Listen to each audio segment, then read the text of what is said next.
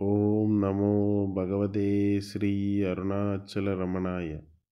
Hello everyone. Today I would like to share with you a timeless message from the teachings of Bhagavan Sri Ramana Maharshi, a sage known for his wisdom and spiritual insights. His words serve as a source of inspiration and guidance in our journey through life. Bhagavan reminds us that surrendering to the divine means accepting the will of God without complaint. This simple yet profound idea urges us to cultivate patience, humility, and faith. It teaches us that in the moment of surrender, we embrace a sense of tranquility that can help us navigate life's uncertainties.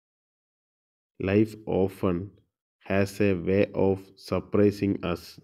What appears as a setback, a disappointment, or even a grievance may in fact hold a hidden purpose.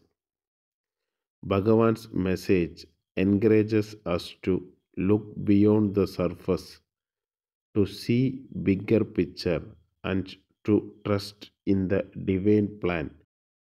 It's a reminder that even in the face of adversity, there can be valuable lessons to learn and opportunities for growth.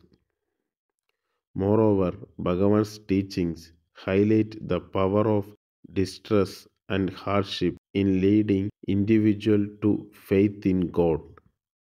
In times of trouble, we often seek solace and strength in our faith.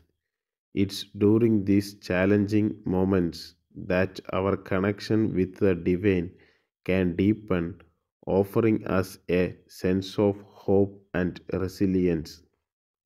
So, as we journey through life, let's embrace the wisdom of surrender, recognizing that things may not always go as planned, but they may unfold in ways we never imagined.